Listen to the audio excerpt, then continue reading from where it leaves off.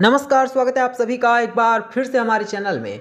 दोस्तों, आज के इस वीडियो में मैं आप सभी को बताने वाला हूँ कि जो सिद्धार्थ पिठानी है दोस्तों, उसको लेकर एक बहुत बड़ा खुलासा हो गया है। जी हाँ, आपको बता दें, सिद्धार्थ पिठानी ने सारा सच मान लिया है और सारी बातें बता दी हैं कि सुशांत सिंह राजपूत के साथ क्या हुआ था और कैसे कातिलों ने पहले ही प्लानिंग कर ली थी कि सुशांत सिंह राजपूत के साथ कब कांड को अंजाम देना है। जी हाँ आपको बता दें, सुशांत सिंह राजपूत अचानक से यूँ ही दुनिया को छोड़कर नहीं चले गए, बल्कि उसके पीछे कई सारा बड़ा षड्यंत्र पहले रचा गया और तब जाकर के सुशांत के साथ इस कांड को अंजाम दिया गया। चलिए मैं आपको बताता हूँ पूरी खबर क्या है और कैसे सुशांत के साथ ही सब कुछ किया गया। दोस्तों, अभी हाल ही में सिद्धार्थ पिठानी से एक बार फिर से पूछताछ की गई है और फिर सिद्धार्थ पिठानी ने ही सारा खुलासा किया है और सिद्धार्थ पिठानी ने बताया है कि सुशांत सिंह राजपूत उस समय बहुत ज़्यादा टूट गए थे, कमज़ोर अपने आप को महसूस कर रहे थे, लेकिन सुशांत सिंह राजपूत को यह भी पता था कि उनके साथ कोई ना कोई षड्यंत्र रचने वाला है। सिद्धार्थ पिठानी से उन्होंने कई बार इस बारे में बात करने की कोशिश की, लेकिन सिद्धार्थ पिठानी को लगा कि शायद ये सब कुछ सिर्फ़ एक झूठ है, मज़ाक है और इस वजह से सिद्धार्थ पिठानी ने इन सारी बातों को इग्नोर कर दिया। लेकिन जिस रात सुशांत सिंह राजपूत ने हमेशा के लिए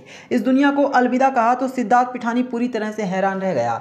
सिद्धार्थ पिठानी को इस बात का अफसोस होने लग गया कि इसने उस रात सुशांत सिंह राजपूत की बात क्यों नहीं मानी। अगर इसने सुशांत की बात मान ली होती तो शायद आज ऐसी नौबत आई ही ना होती और शायद आज भी सुशांत सिंह राजपूत हमारे बीच होते। लेकिन ऐसा नहीं हुआ दोस्तों, और सिद्धार्थ पिठानी ने सुशांत की बात नहीं मानी और इसी वजह से जो कातिल थे, वो चोरी छुपके से सुशांत सिंह राजपूत के घर में उस रात घुसे और सुशांत के साथ साथ कांड को अंजाम दिया और हमेशा हमेशा के लिए हमसे सुशांत सिंह राजपूत को छीन लिया।